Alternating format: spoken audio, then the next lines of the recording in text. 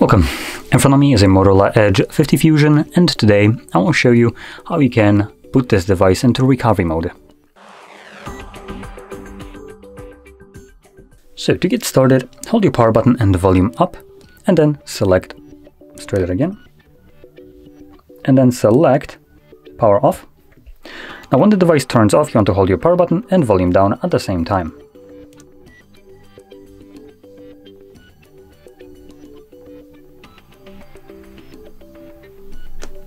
Once you see the boot mode, you can let go of both of those buttons and then using volume buttons uh, to navigate, you want to have a recovery mode visible right here, like so, and confirm it using your power button.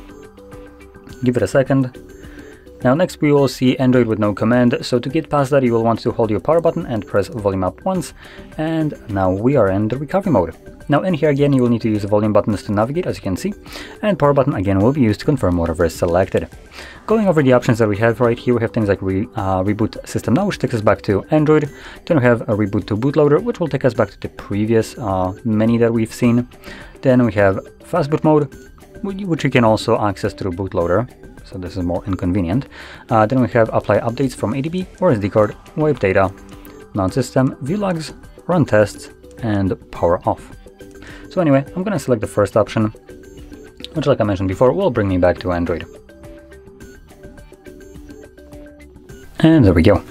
So, if you found this very helpful, don't forget to hit like, subscribe, and thanks for watching.